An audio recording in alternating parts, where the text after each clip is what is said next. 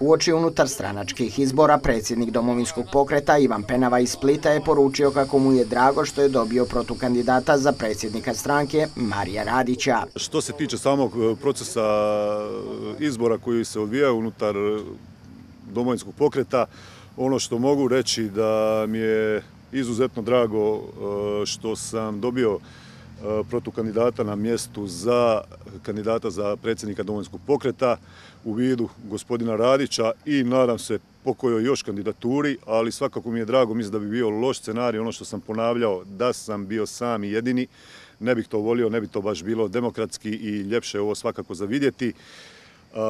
Čestitam gospodinu Radiću evo što je izašao iz sjene, što se odlučio za kandidaturu.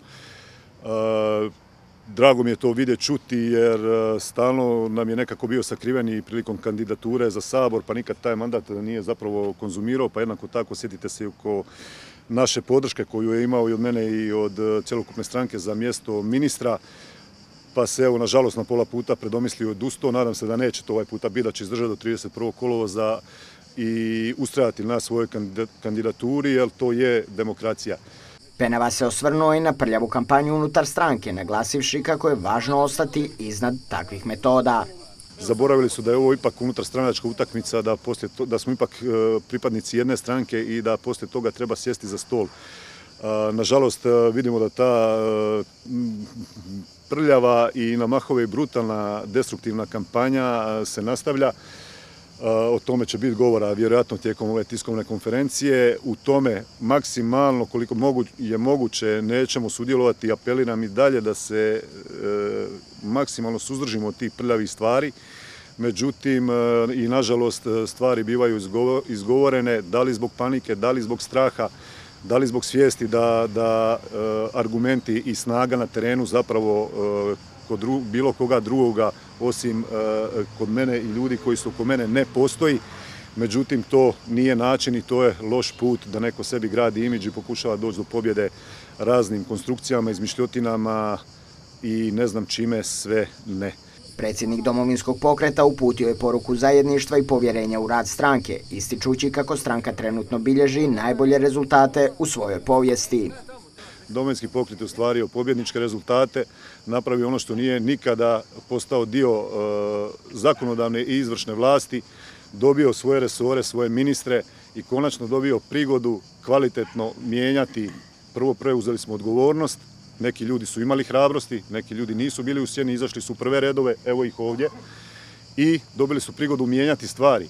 Hoćemo li biti dobri u što ja čvrsto vjerujem ili nećemo, o tome će ljudi suditi za 3-4 godine kada dođu sljedeći izbori. Međutim, e, mogli smo birati ostati u oporbi ili se preuzeti odgovornost prioniti poslu. Odabrali smo ovo drugo što se od nas i očekivalo i pokušavamo i nastojimo i sigurno ćemo promijeniti Hrvatsku u tom smislu na bolje. Marko Žaja istaknuo je važnost sačuvanja domovinskog pokreta. I svi smo jedinstveni kao prvo u tome da moramo sačuvati domovinski pokret. Domovinski pokret je snaga koja je u ovom trenutku presudna da hrvatski narod i hrvatsku državu izvede na puno kvalitetniji i bolji put. To i u ovom trenutku i radimo.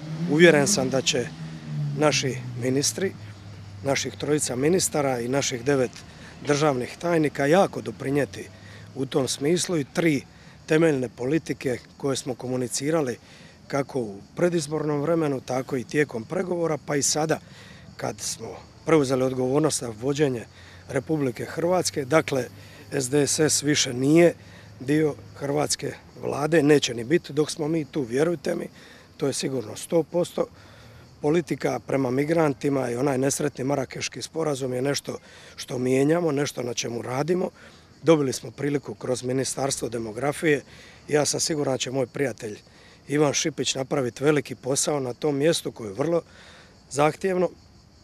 Isto tako problematika oko nesretne Istanbulske konvencije. Vidimo kakve grozote se događaju na globalnoj razini, pa nažalost i u športu. Vidjeli smo i otvaranje i zatvaranje olimpijskih igara, vidjeli smo i natjecanje na olimpijskim igrama. To je dakle jedan vrlo ozbiljan globalni problem s kojim ćemo se mi na našoj nacionalnoj razini uhvatiti u koštac i borit ćemo se svom snagom. Isto tako, dobili smo priliku kroz Ministarstvo gospodarstva i Ministarstvo poljoprivrede gdje su moji prijatelji Ante Šušnjar i Josip Dabro, koji i do predsjednik vlade, kreirati politike koje će sigurno doprinijeti tome da hrvatski narod osjeti kroz, siguran sam već nakon godinu dana, da ćemo osjetiti vrlo pozitivne pomake. Stipo Mlinarić komentirao je optužbe koje stižu na njegov račun. Očekivao sam sve, jer za njih je spaljena zemlja najljepša zemlja. Ali da udaraju na jednu stvar, na centar doktor Ivana Šretera, kojeg sam osnovao prije dvije godine, gdje sam podnio sa dva odvjetnička ureda, 12 kaznenih prijava. Neću reći što je sve ostvareno po njima, to DORH govori. Svaka kaznena prijava je donešena glavnoj državnoj odvjetnici, a sada glavnom državnom odvjetniku. Mlinarić je dodao kako vjeruje u pobjedu Ivana Penave, te kako je iz domovinskog pokreta otišlo mnogo ljudi, ali on nikada o nikome ništa nije loše rekao i ne planira loše govoriti.